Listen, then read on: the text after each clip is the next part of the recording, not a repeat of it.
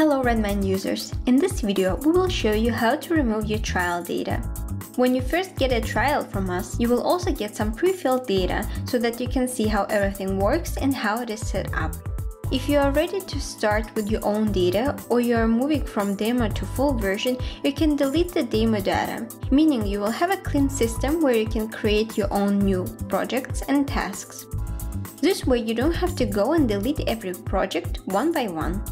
So when you have your demo site, over here you can see a little trash can, so just click on it.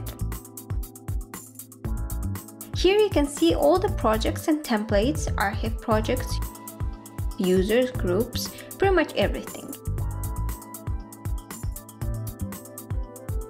And all you need to do is check everything.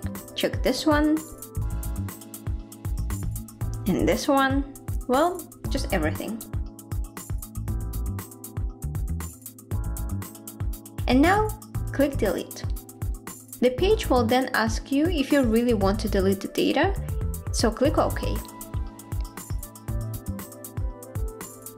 And now just wait, and here you will see what was successfully deleted.